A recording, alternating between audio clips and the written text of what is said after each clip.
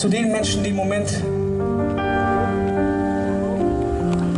noch ein bisschen mehr Struggle, noch ein bisschen mehr Arbeit, noch ein bisschen mehr Leid erfahren als wir oder vielleicht sogar das größte Leid. Nämlich Menschen, die unverschuldet in diese Unwetterkatastrophe geraten sind, die in vielen Bundesländern in diesem Land halt eben ihre Existenzen, ihre Angehörigen, alles verloren haben. Und ich finde, wir könnten von hier aus, von Rostock aus, mal ein bisschen Kraft per Applaus, per Gedanken mal dahin senden.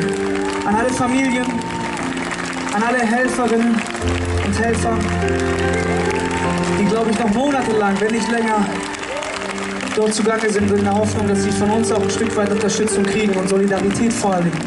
Und das ist das Schöne. Das sieht man immer wieder in diesen Momenten, in diesen Krisen, die hier vor der eigenen Haustür passieren, die im eigenen Land passieren. Dann sind wir alle da. Dann halten wir zusammen, zumindest am Anfang. Dann ist jeder bereit, was zu geben, was abzugeben, was mitzumachen.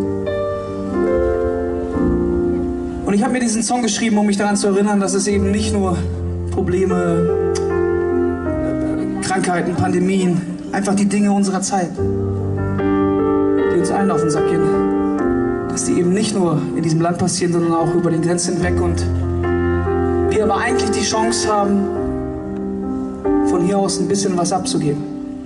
Denn dass wir hier heute Abend stehen, glücklich sind, zufrieden sind, sicher sind, Zugang zu so vielem haben. Ich glaube, das ist Zufall.